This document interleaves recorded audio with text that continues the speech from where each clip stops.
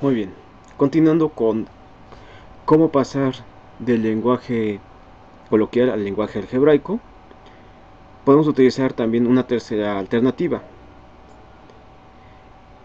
Se trata de reconocer las operaciones aritméticas y esto es plantear un modelo.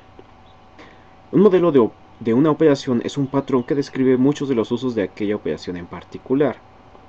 Por ejemplo, un modelo para sustracción es tomar, quitar. Y ahora resolvamos el siguiente ejemplo.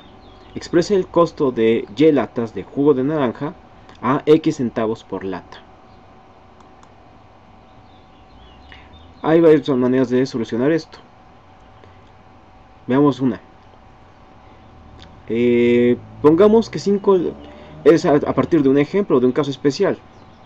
Digamos que 5 latas a 40 centavos por lata costarían 2 pesos. Esto sugiere multiplicación. De tal forma que Y latas a X centavos por lata costarán XY centavos. Otra alternativa. Reconozca el modelo. La unidad centavos por lata puede ser escrita como centavos sobre lata. Esto significa una razón. El patrón para un modelo factor razón para la multiplicación es y latas a x centavos sobre lata. Por lo tanto, el resultado es xy centavos. Esta alternativa, eh, al proponer unidades, nos da una forma de hacer una nueva revisión.